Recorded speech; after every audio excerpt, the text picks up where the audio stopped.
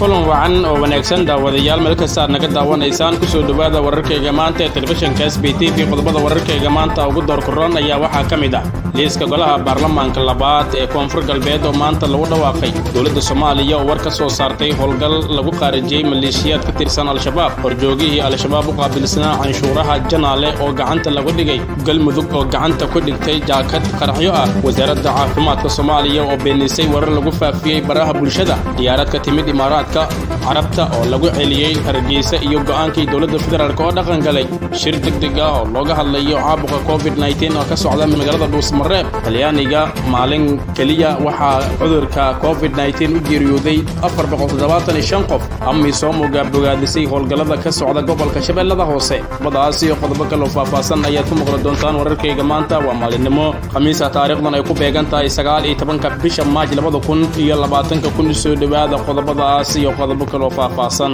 Ayna ku bilownay guddiga madax bannaan ee xulista baarlamaanka labaad ee koonfur galbeed ayaa waxa ay ku dhawaaqeen liiska xildhibaanada cusub ee golaha wakiilada koonfur galbeed oo ku kooban sagaashan iyo shan mudane. Guddigan ayaa sheegay in wadatashi dheer ay la yeesheen odayaasha dhaqanka koonfur galbeed kadib ay soo xuleen liiska xildhibaanadan oo muddo badan ay taagneed isqaqabsi dheer oo aan ilaa hadda la xalin sida aan ku ogaanay wararka inta badan xildhibaanada la soo xulay ayaa ah kuwa ay keensatay dowladda soomaaliya waxaana kursiga xildhibaannimo loo diiday. Dhowr mas'uul oo horey xil ugu soo qabtay koonfur galbeed gaar ahaan kuwii la soo shaqeeyey madaxweynihii hore ee maamulka shariif xasan sheekh aadan. Guddiga xuliyey xildhibaanada oo ahaa agaasimayaal iyo shakhsiyaad ka tirsan shaqaalaha dowladda ayaa shaqada u qabtay sidii ay dowladda ku amartay oo ahaa inay xildhibaanada noqdaan kuwa daacad u ah dowladda oo ka shaqaynaya rabitaankeeda. Xildhibaanada cusub ee baarlamaanka labaad ee koonfur galbeed ayaa dhowaan waxa ay dooran doonaan guddoomiye iyo ku-xigeenadiisa iyada oo la dhaarin doono.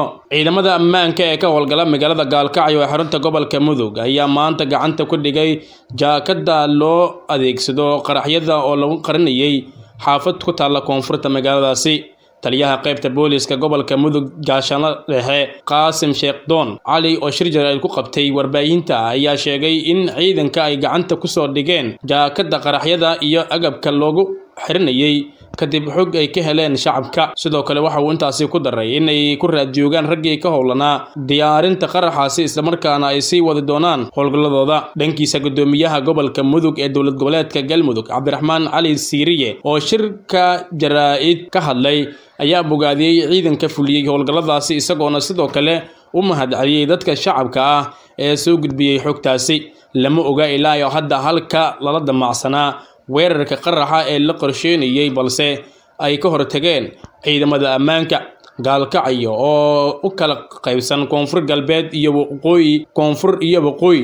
Waxaa maalmihii u dambeeyey howlgallo ka waday ciidamada maamulada galmudug iyo puntland. Wasiir ku-xigeenka wasaaradda caafimaadka soomaaliya xildhibaan wasiir ku-xigeen maxamed saciid cabdulaahi waraysi gaara siiyey tv-ga star xafiiska magaalada muqdisho ayaa beeniyey warar si weyn loogu faafiyey baraha bulshada oo tilmaamayey in qof kale oo soomaali ah laga helay cudurka covid nteen maxamed saciid cabdulaahi oo la hadlay warbaahinta ayaa ka codsaday shacabka iyo warbaahinta inay iska ilaaliyaan baahinta wararka mala-awaalka ah ee la xiriira dad uu haleelay coronavirus.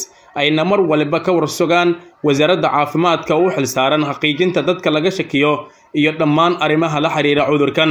Baraha ay bulshada ku wada xiriirto ayaa waxaa saaka lagu baahiyey warar been abuur ah oo sheegaya in qof iska shakiyey oo tegay isbitaalka digfer laga helay cudurka covid nteen kadib markii la baaray. Diyaarad rakaab ah oo ka timid dalka isutaga imaaraadka carabta ayaa lagu soo waramayaa in saaka loo diiday inay ka degto garoonka diyaaradaha cigaal international magaalada hargeysa ee xarunta maamulka somalilan. Wararka ayaa sheegaya in diyaaradda oo ay ahayd shirkadda falai dubai ay dib ugu laabatay dalka imaaraadka carabta iyadoo aan dejin rikaabkii saarnaa. Sida aan ka ogaanay wararka hay'adda duulista rayidka hawada ee dowladda soomaaliya ayaa duuliyaasha ka wargelisay in diyaaradeedu aysan ka degi karin magaalada hargeysa iyadoo la fulinayo amarkii ra'iisul wasaaraha ee ka hortaga corona.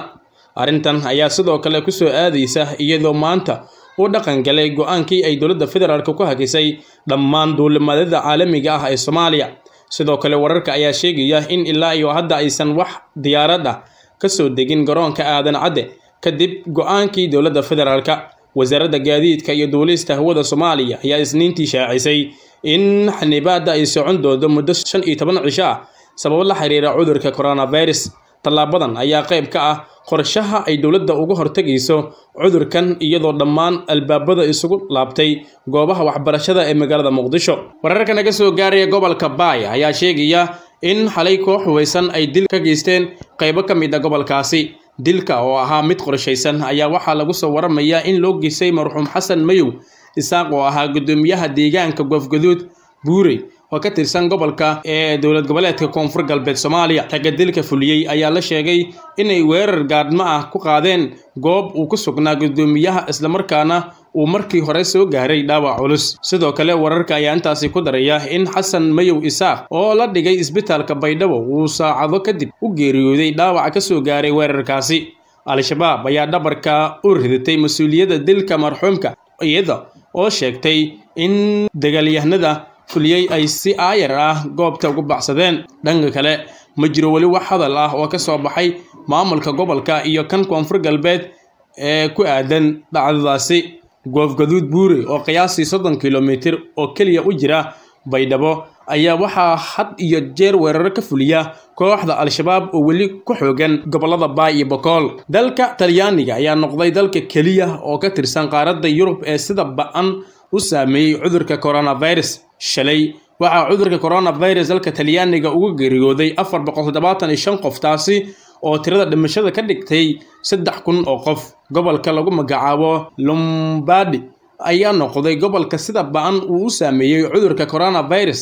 Kadib markii maalin qura ay u dhinteen dad gaaraya saddex boqol sagaal iyo toban qof dadka ku nool gudaha dalka talyaaniga ee la ildaran cudurka coronavirus ayaa gaaraya toban qof iyadoo afar kun oo qof laga daweeyey cudurkaasi. Taliska howlgalka nabad ilaalinta ee ururka midowda afrika ee amisom ayaa war-saxaafadeed ka soo saaray howlgalladii ciidanka dowladda federaalk soomaaliya iyo kuwa amisom ay maalamo ka hor kula wareegeen deegaanka janaale ee gobolka shabeellaha hoose. Taliyaha ciidamada nabad ilaalinta midowda afrika ee amisom ayaa sheegay in howlgalka ay kula wareegeen janaale uu ahaa mid ay kaga guulaysteen al-shabaab oo sannado badan maamulayay deegaankaasi sida uu hadalku u dhigay. Sidoo kale simon molonga oo ah ku-xigeenka madaxa amisom ee soomaaliya ayaa ciidanka dowladda iyo kuwa nabad ilaalinta ee midowda afrika uga hambaliyeeyey howlgalka ay kula wareegeen deegaanka janaale ee gobolka shabeellaha hoose. Ugu dambeyn amisom ayaa shaacisay in la wareegitaanka deegaanka janaale uu hordhac u yahay qorshaha ay labada kun iyo koob iyo labaatanka ugu baxaysa gudaha soomaaliya. Horeyna ay ciidanka dowladda gacan ugu siiyeen in dagaalyahanada al-shabaab ay ka saaraan deegaanada sabiid iyo caanole bariire ceelsaliin iyo deegaanada owdhigle ee gobolka shabeellaha hoose. Daawadayalantaas aan ku soo afeerina wararkayga maanta ee telefishinka s b t v. Intaan warkan war la mid ku kulmi doono waxaa idinkaga tegaynaa sidaa iyo nabadgelyo